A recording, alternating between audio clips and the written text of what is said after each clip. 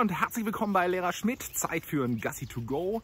Es ist relativ früh morgens, nicht so kalt wie gestern und es regnet nicht. Also ein perfekter Tag. So, was habe ich zu erzählen? Ich habe heute Morgen was Spannendes gelesen und ich muss sagen, das gefällt mir unfassbar gut. Eigentlich schade, dass nicht vorher schon jemand auf die Idee gekommen ist.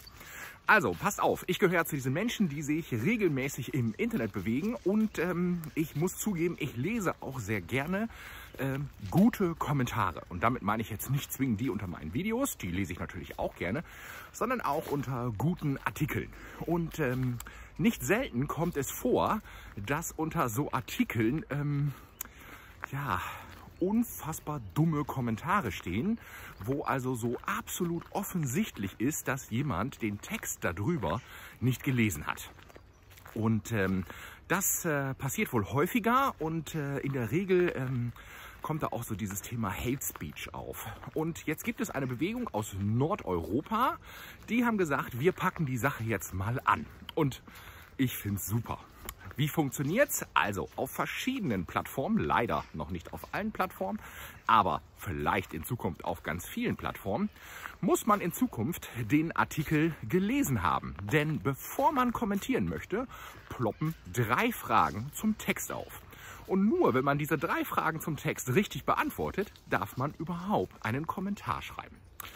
Hintergrund ist, äh, dass man bei der Qualität der Kommentare einfach äh, so ein bisschen Luft nach oben sieht und dass man einfach der Meinung ist, es ist schon sinnvoll, wenn wir alle über das Gleiche reden. Und wir kennen das ja und manchmal hat man ja auch den Eindruck, dass das gewollt ist, dass es so Überschriften gibt, die so, äh, na ihr wisst schon, ne? so ein bisschen reißerisch sind und ähm, die dann implizieren, dass im Text etwas anderes steht.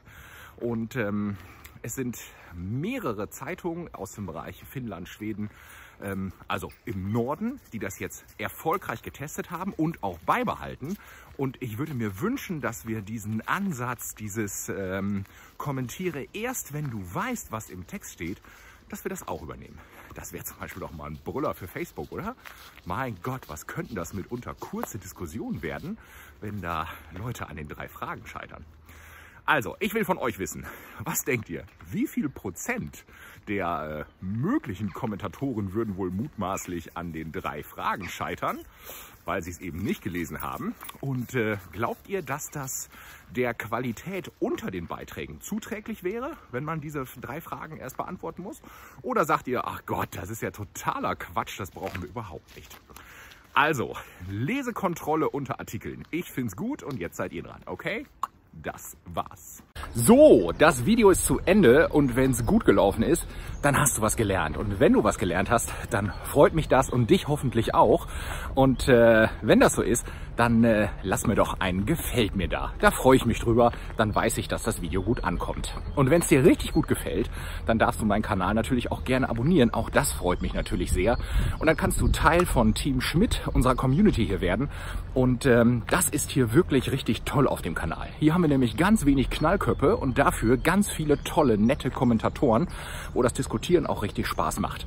Aber das sieht man ja auch unter den Kommentaren, beziehungsweise in den Kommentaren unter den Videos. Das wollte ich meinen. So, und wenn du mehr Hilfe brauchst, dann findest du alles schön ordentlich sortiert auf meiner Homepage www.lehrer-schmidt.de.